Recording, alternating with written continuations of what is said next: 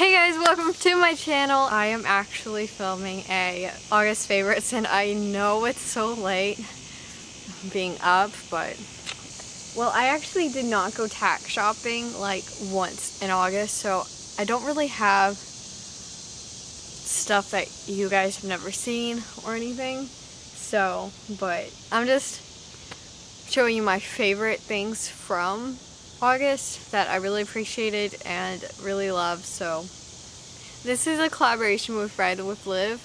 So go watch her video and subscribe to my, her channel. Both those links will be down below so you can check those out. So I'm just going to start off with these horse gloves. They're just chocolate brown and they have leather on the fingers. I don't know, they're really comfortable. It feels like I'm not even wearing anything. I just really love the Horze, Horze brand, so you should check them out. the next things are these boots. These are also Horze brand. They're just the open front tendon boots, and I just really like these. Yeah, they're easy to put on, and then this other thing that I really like, it's just my hoof pick that I got for my birthday. It wasn't my tack haul, but I don't know, I just really like it. It's extremely thin, and I just think it's really easy to get the horses the dirt out of the horse's hooves with it and I really love it. I think the design on it is really cute and it's metal so it's not going to break. For not having a really thin hoof pick for like six months, uh, six, eight months, I just really appreciate how thin it is and I love is my Cavalieri pad. I just, I only used it once so far and just because I've ridden only Western since I got it, which is weird. Like, we haven't really gone to the arena, so just been riding Western, because when we're not at the arena, I prefer riding Western. But when we're at the arena, I prefer English, because I can kind of jump them a little bit in the English. I'm not amazing at jumping, but I still find it really fun, even if we are going less than a foot. Anyways, so, here's my cavalry pad. I've only used it once um,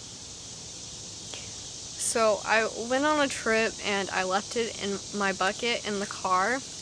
And literally two days later, I remembered it. I'm like, oh my gosh, it's a gel pad. It's going to melt. And so I called my dad who was still at home and he said that it was literally just like melted to the bucket and he tried getting out but it's like ripped down the middle. And it's not bad right now, but it will probably get worse. So it's not going to last me all the days of my life. Just note to you guys, if you have a Cavalieri, do not leave it in a hot car where it will melt and rip. So otherwise I hear a lot of good things about them. Like I've never heard of anyone else is ripping so far, but I don't know. I just love it. I love playing with it. So yeah. And last but not least, my Manna Pro rice bran supplement.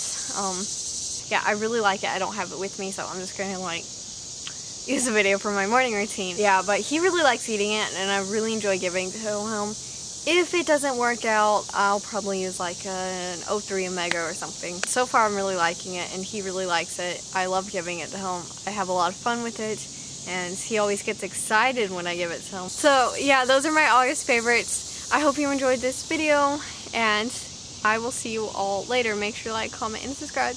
And comment down below what are your August favorites. We, um, I'm not with Legend today. So I will see you all later. Bye.